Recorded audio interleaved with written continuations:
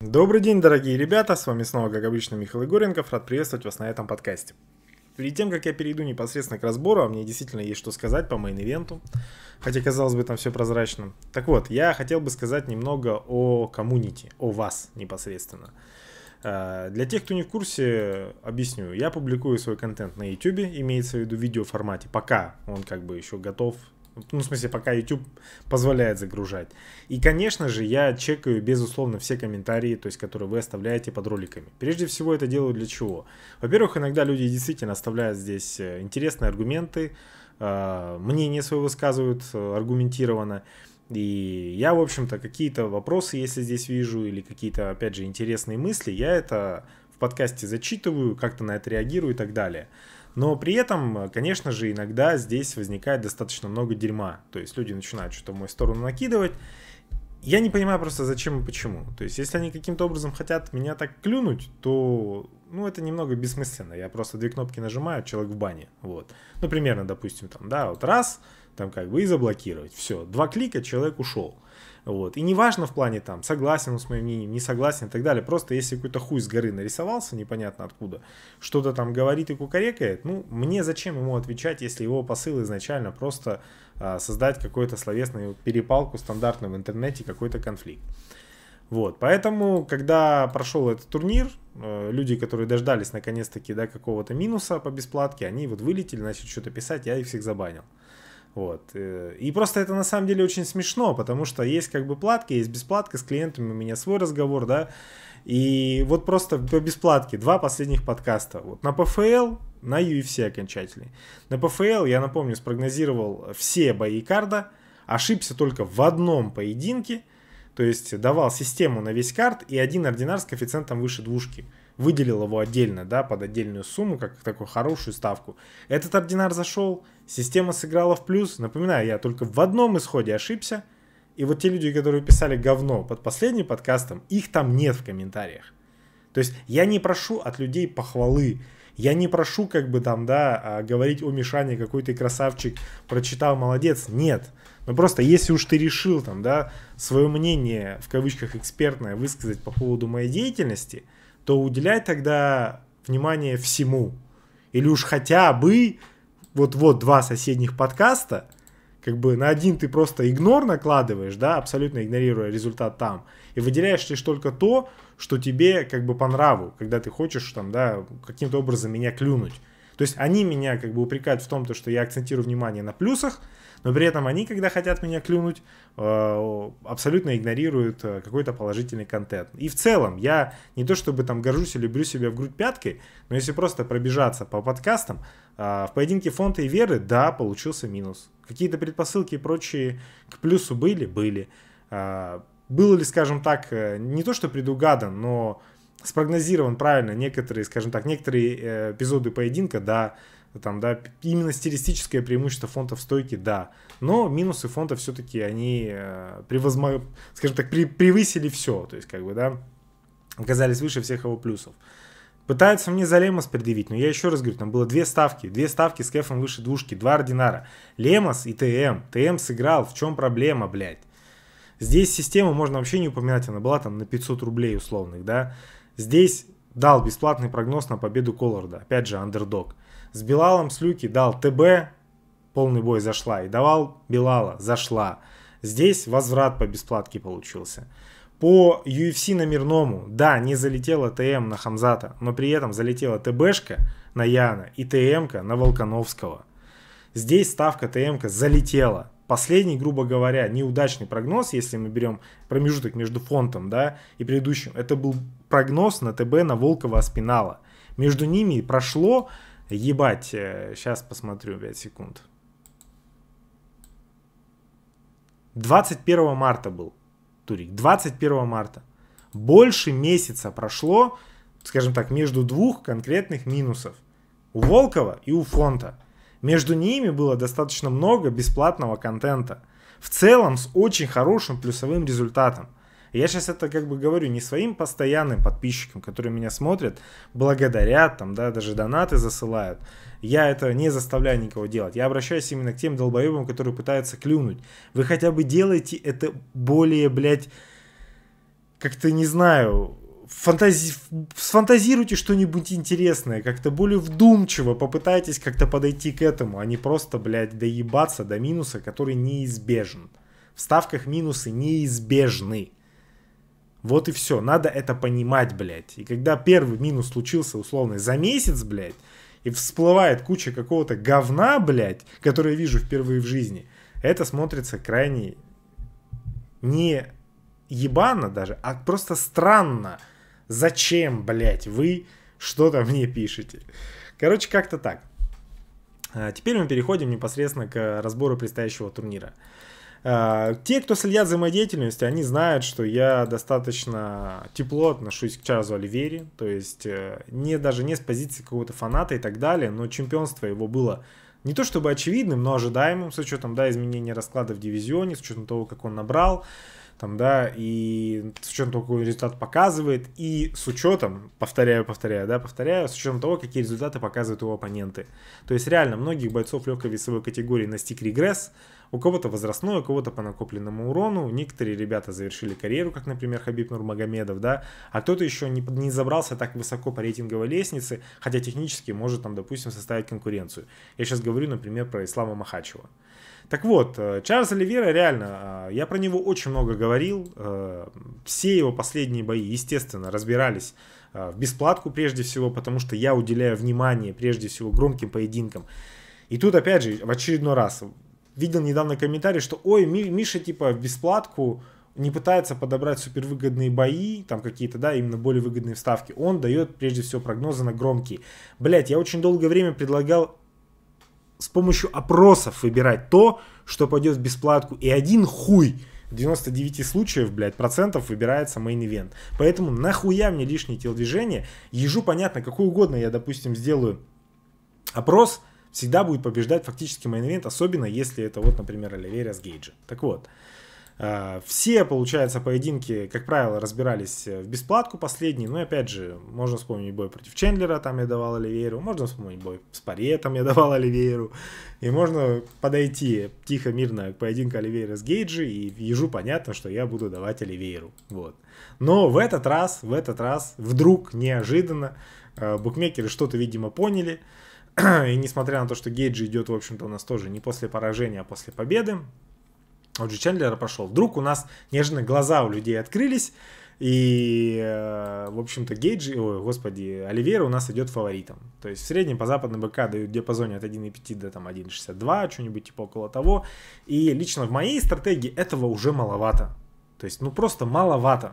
Хочется побольше коэффициент. Я не привык играть на таких кэфах, но если вам нужно просто уверенное в кавычках ЖБ, вот вас устраивает такой коэффициент, а, вам нужно просто что-то поставить, чтобы там, да, уверенно выиграть. Уверенно в данном случае все в кавычках, потому что ставки это риски, еще раз объясняю. Вот. И я всегда соотношу шансы с коэффициентом. И вот здесь шансы с коэффициентом, вот я примерно с Буком согласен. Вот здесь я согласен, там я не был согласен, поединки с Парье. Поединки с Чендлером я не был согласен, здесь я согласен. А когда ты соглашаешься, соглашаешься с минимум бук, бука, ты соглашаешься в том числе и с тем, что, блядь, здесь маржа тебя ушатает нахуй. То есть, как бы, бук, он живет за счет маржи. Соглашаясь с его фаворитами, с тех, кого он выбрал, да, ты уже в любом случае себя в минус будешь загонять маржой. Для тех, кому непонятно, потом в комментариях поинтересуйтесь, я вам отвечу или вам другие люди ответят. Вот.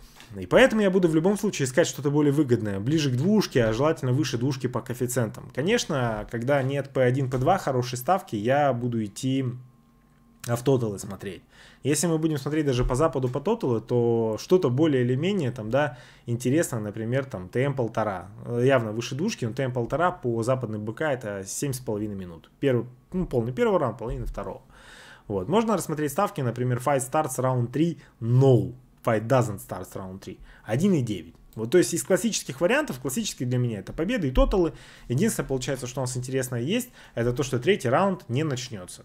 Уверен ли я в том, что они ушатаются именно за два раунда? М-м, если честно, не очень. Если честно, не очень, потому что Гейджи реально может попытаться там, да, как-то подзатянуть бой, потому что реально, если вспомнить его бой с, Гей, э, с Чендлером, ну это же была полная тотальная хуйня. Где просто Гейджи пережил там, да, всю бомбардировку, тяжелые удары Чендлера, подождал, когда он сдохнет по кардио, а по поводу Чендлера я тоже неоднократно высказывался, что это боец на один раунд, причем я это говорил еще перед поединком с Оливейрой, и приводил разные там, да, примеры того, как он выступал в Беллаторе там и так далее, то есть э, я сейчас не буду это все размазывать там, да, я снова пере- разговариваю, потому что вы еще раз, вы можете просто зайти, в рекорд бойца, посмотреть, на каких турнирах выступал Гейджи, на каких турнирах выступал э, Оливейра, вот здесь вот в поиске по каналу забить и увидеть все эти подкасты. Что я говорил, какие я доводы приводил, что я делал, там, да, какие были аргументы и так далее. То есть все на канале есть, я еще раз говорю, повторяться не буду. То есть, по сути, Джастин Гейджи просто передышал Чендлера, несмотря на то, что Гейджи сам по кардио говно ебаное. И при этом он уже, как по моему мнению, стал достаточно пробитым, но это, по-моему, очевидная херня. Тут банально, ключей на победу у Чарльза Оливейру больше. У Гейджи есть единственный шанс, соответственно, да, нокаутировать Оливейру, но Оливейра такой чувак, пропуская удар, он просто падает вниз и приглашает оппонента к себе, типа, иди дорабатывай. Просто так вырубить Чендлера сложно. Ой, Оливеру. То есть ему нужно будет допустим, иногда он отправить идти добивать. А в партер идти к нему, это ну, провальная история. На, на этом многие обжигались, поэтому вряд ли получится. А дальше просто как бы, если бой пройдет первый, второй раунд, то в любом случае считаю, что у Чарльза Оливеры по кардио будет ситуация получше, чем у Джастина Гейджа. Так вот, э, если даже тупо посмотрим по западной БК, если меня не устраивает P1, P2, если меня не устраивает Total, я уже начинаю идти в роспись. Это такая, скажем так, слегка крайняя история. Вот. Fight ends inside distance, то, что бой закончится досрочно, идет в целом 1.3. Ну, просто понимаем, да? Поэтому простейшая арифметика. Если у нас Чарльз Оливейра идет там условно за 1.6, на досрочку дают там, да, то, что бой закончится досрочно 1.3, соответственно, можно даже несмотря на кефы понять сразу, что на то, что Оливейра победит досрочно, коэффициент будет там около двушки, там, да, 1.95-2.1. 1.91-2.1 в этом диапазоне. Ну, простая арифметика, да? 1.6, 1.3, бам, 2. Как бы, да? Вот, вот так это делается, чтобы вы понимали. И я в таком случае, конечно же, начинаю идти по нашим БК, смотреть, что там предлагают, там, допустим, да, действительно, что тут у нас есть. Вот, например, фонд Бет. А, Чарльз Оливейра, получается, досрочно 1.92. Да, они полностью следуют, соответственно, западным букам, а, берут у них как бы линию, там, роспись, а, под нее корректируют свои какие-то, да, там, коэффициенты выкладки и прочее. Давайте посмотрим, что у нас дает BetCity. Просто на данный момент у меня три БК. Фонбет, BetCity, Марафон. Если есть какие-то у вас другие БК, вы их используете, это ваш выбор. Я вас отговаривать, там, переговаривать не буду. Я просто отталкиваюсь от этих БК. Роспись заебала меня это, если честно, быть Сити, всегда на ней спотыкаясь. А, где просто досрочка.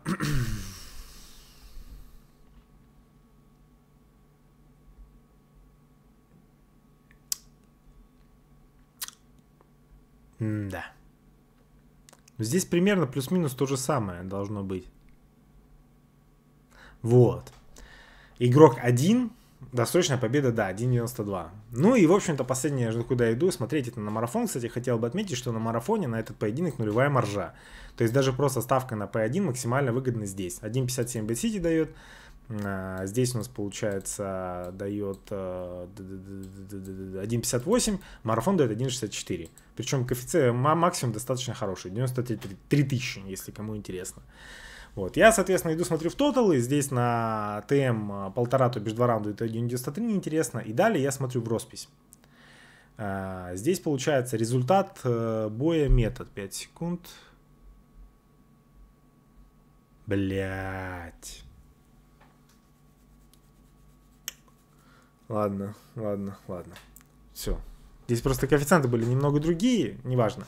Нокаут, технический нокаут, дисквалификация или добровольная сдача соперника 1.79. То есть вот это вот максимум, что сейчас предлагают наших БК.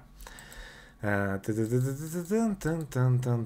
что, если вы хотите от меня увидеть ординар с коэффициентом плюс-минус около двушки, то я буду в любом случае забирать чаш за Оливеру, досрочную победу, да. Там, но при этом, опять же, здесь особо спешить смысла некуда.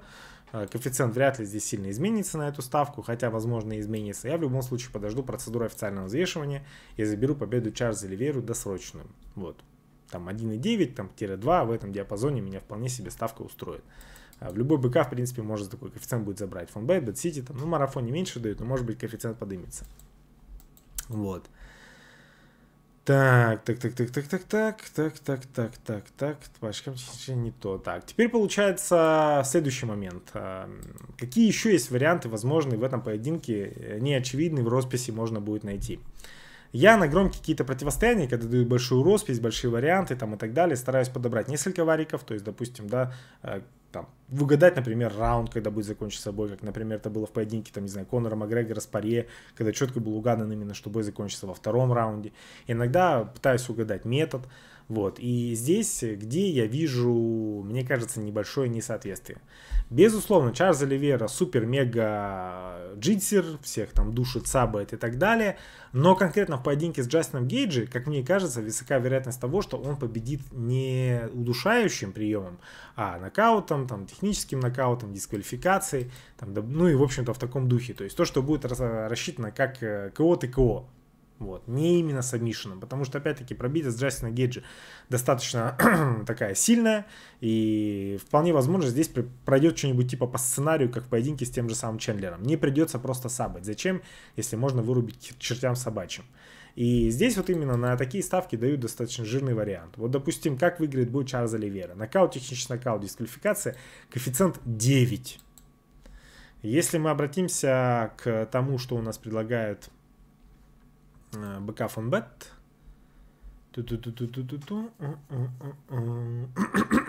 Вот, Чарльз Оливера побед нокаутом 9. То есть я пока на данный момент готов предложить вам два варианта для ставок. Условно, если вы, например, ставите в процентах от банка, а чтобы было понятно, давайте перейдем просто условно в рубли, да, то если вы, например, хотите 1005 поставить там, да, на этот бой, то возьмите 4500, поставьте там, да, на победу Чарльза Оливейры досрочную за коэффициент желательно около двушки. Вот. И, в общем-то, выделите там условно 500 рублей и поставьте на то, что Чарльз Оливера победит нокаутом, техническим нокаутом, дисквалификацией, да. На Бэтсити, например, за коэффициент 9. Здесь максимум как раз 5000, поэтому 500 рублей спокойно сможете поставить. Вот это те две ставки, которые я на данный момент готов вам предложить. И просто или я в глаза ебусь, но вот здесь, по-моему, перед тем, как сел записывать ставку, наверное, была все-таки ошибка. Наверное, была ошибка техническая, потому что на Чарльза Оливейру, блядь, нокаутом, техническим нокаутом, дисквалификацией или добровольной сдачи давали 2.95. По-моему, они перепутали э, коэффициент. Я вот, ту, я просто прям сел, смотрю, что за хуйня. Я написал в техподдержку, в чат. Я поинтересовался, что у них подразумевается по добровольной сдаче соперника. На всякий случай. Мне сказали, что саб. Постучал, либо отказался продолжать бой там, да, в целом, словесно. Я думаю, нихуя себе за 2,95 и максимум была десятка. Ну, то есть, в принципе, я был даже готов, ну, не десятку, но пару рублей кинуть. Опять же, сейчас финансовая такая ситуация в стране, знаете, не самая хорошая. Особо сильно деньгами рисковать не хочется. Я просто сажу, думаю, бля, сейчас думаю, пацанам дам нахуй же бэху заебатую. Ну, кто успеет забрать, то успеет. И, и я, главное, в поддержку написал, и то ли они как-то вдуплили по поводу именно этой ставки, то ли что, и, мне кажется, они скорректировали, сука, пидорасы. Или просто я в глаза ебусь э, и просто перепутал. Но мне кажется, я нихуя не перепутал. Просто, короче, не успел. Не успел воспользоваться ситуэйшеном, не успел вам дать метку.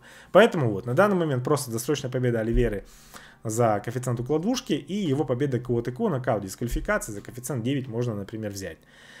И, возвращаясь к началу выпуска, я объяснял, что я читаю все ваши комментарии. Хорошие, плохие, неважно. И так как это номерной турнир, я постараюсь здесь разобрать не только один поединок main event, но еще и второй бой какой-нибудь из этого карда. Но с учетом того, что как бы в этом карде есть ну, интересное противостояние, но я не хочу конкретно второй бой выбирать за вас. В комментариях расскажите, укажите, пожалуйста, во-первых, да, какой бы вы бой хотели увидеть вторым разобранным, например, Роуз на Маюна с Карла Испарза, Чендлер против Тони Фергюсона, Роа против Оуэнса Сент-Прю, Сирони с Лоузеном и так далее. И я, в общем-то, хочу, опять-таки, от вас увидеть комментарии с тем, э, с указанием того боя, который вы хотели бы увидеть в разборе в промежуточном. Плюс оставляйте комментарии по ставкам, конечно же, какие-то мнения, аргументы и прочее. И во втором выпуске я постараюсь уже, в общем-то, дать э, дополнительные выкладки по тем вопросам, которые вы оставите. И, в общем-то, постараюсь э, дать хороший прогноз на тот бой, который выберете вы. Опять же, ориентироваться буду на комментарии. Так что, welcome в комменты. Напоминаю, это предварительный подкаст. Окончательное мое мнение будет после процедуры официального взвешивания. Но касаемо мейн-ивента, оно вряд ли поменяется. Я в любом случае буду забирать Чарльза Оливейру досрочно и заберу Чарльза Оливейру КО ТКО. А, скорее всего, буду определяться уже окончательно по каким-то другим боям в этом карте, которые будут дополнительно там бесплатки. Поэтому по Чарльзу Оливейру уже все, официальный прогноз, можете вот, он, он скорее всего не изменится на 99%. А, максимум я, возможно, еще что-то дополнительное в росписи найду. Вот примерно как-то так. На этом я с вами пока прощаюсь. Всем всего хорошего и пока-пока.